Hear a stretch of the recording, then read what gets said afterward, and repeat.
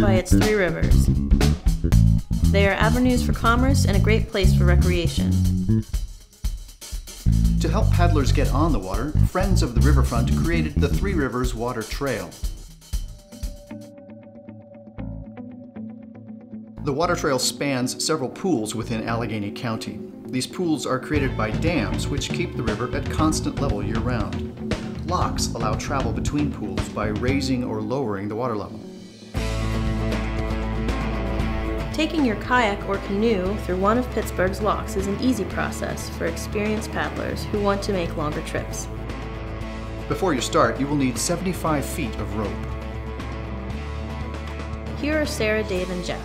They are taking a trip down the Allegheny River today with a final destination of Point State Park. To make this trip, they'll be passing through a lock.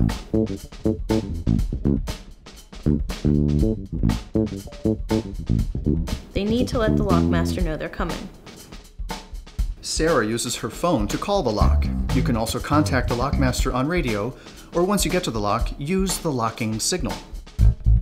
Traffic signal lights guide you at all locks. Wait until the light is green before entering the lock. The lock operator may also signal you with an air horn. Once in the lock, the lockmaster will lower a hook to you. Drape the midpoint of your rope over the hook. Hold on to both ends. Play out your rope carefully to avoid catching on anything as it is pulled up. The lockmaster loops your rope around a mooring post on the top of the wall. The rope will keep you in position as the water level changes.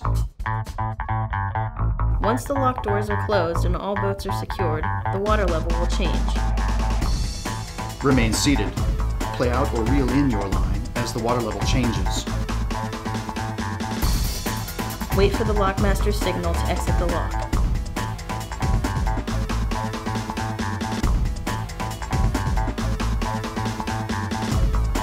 And that is how to lock through a dam.